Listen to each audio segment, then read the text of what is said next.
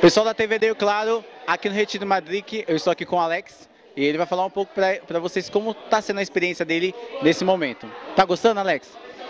Estou gostando muito, o retiro está sendo uma bênção. É o segundo que eu participo e pretendo participar pelo resto da minha vida e todos os retiros que eu tiver a oportunidade.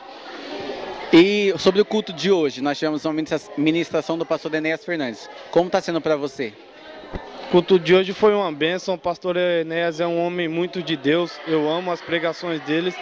E hoje Deus se fez muito presente aqui em nosso meio. É, Deus tocou no meu coração. Eu acredito que tocou no coração de muita gente aqui. E eu duvido que esses jovens saiam daqui do mesmo jeito que entraram. Glória a Deus. É isso aí, pessoal. Toda a cobertura completa do Retiro O Madrid 2018 você acompanha aqui na TV AD Rio Claro.